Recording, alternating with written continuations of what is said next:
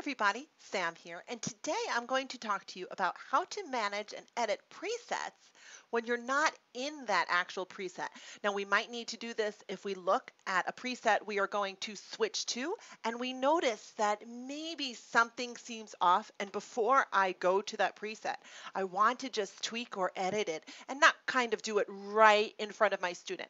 If you do it while you are teaching and your student sees you modify a preset it's not a big deal. I've done it many times when I've switched to a feed I've gone like uh-oh let's fix do do do do do do you know and we just fix it but how can you do it without actually being in that preset? There's two ways. Right down here, you can see that I have all my different presets. Now, this only works if a preset is actually already set up and has something in that particular feed. For example, I can't modify preset number 12 right now when I'm not in it because I don't have anything set up just yet.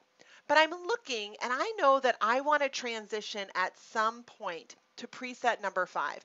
Now, preset number five looks a little wonky. I really want it to be over this slide right here, this part of my screen, but my custom area seems a bit off. If I was to transfer right on over and transition to that, you can see, uh-oh, my preset is kind of somewhere up here.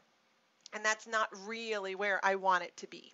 So what I can do is I can actually click on the number five and I actually clicked right on the number and I'm going to go to edit. Now if you notice I am not actually transitioned there. I know it looks like I am, but I'm not. I'm actually still in my preset number one. And you can see it because that on the bottom is the box that is in blue. So this is what my student is seeing. The box number five is orange because it means I'm editing it. So now I can grab this custom area and just put it right where I want it. Now my student isn't seeing this. It's actually just an editing box. They're still only seeing what's in number one.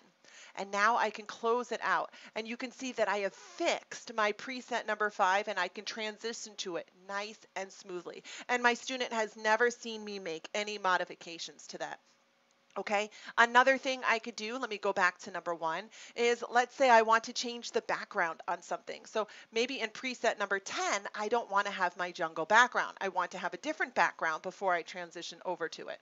So once again, I can just go ahead and click on number 10 and I can click on to edit it. Now I'm just in an edit. My student is not seeing any of this. And I can go ahead and choose a different custom background. Maybe I'd rather be at the beach than the jungle. I can even click on little things and then I can close it out. You can look in my feed that it is now showing that number 10 has been changed. However, I have been in number one this whole time. My students have not seen anything different. And then I can transition and there I am. And I could go ahead and, and click and, and clean it up a little bit. So that's one way that you can modify your effects while, I mean, modify your presets. And, and you could do anything. You could add effects. You could do everything as if you were in that preset but you are not quite in the preset according to the student. They're not going to see anything different. You stay with your preset that you were in originally. Another way to do it is you can click on your preset lists right here and you can go ahead and see there's this little eye next to a preset. So like next to preset four, you could go right into it. You can click it right there and you can add an effect as well. I added my group effects. And you could do this the whole time while uh, being in a different preset. So if you look down here, it's showing I'm in preset number 10 as that is blue. And it is showing that I am editing preset number four because that's the one that's in orange. So then when I close this out and I go ahead and transition over to preset number four, my effects will be there. So these are two ways that you can go ahead and I really don't want to have these here. these are two ways that you can modify your presets when not actually in them.